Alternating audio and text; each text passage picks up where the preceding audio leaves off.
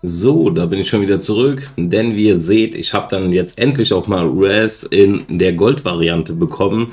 Finde ich persönlich, sieht schon nice aus, aber den für, warte mal, mit dem Level vorher, also in der Chrom-Variante, gefällt er mir trotzdem ein bisschen besser.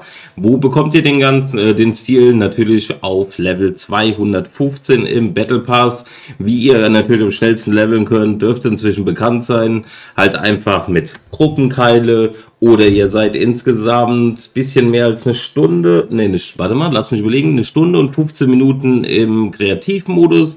Auch da bekommt ihr ganz easy XP, ohne irgendwas zu machen. Ihr müsst nur in der Lobby sein und so werdet auch ihr ganz einfach auf Level 215 kommen, um hier den Stil freizuschalten.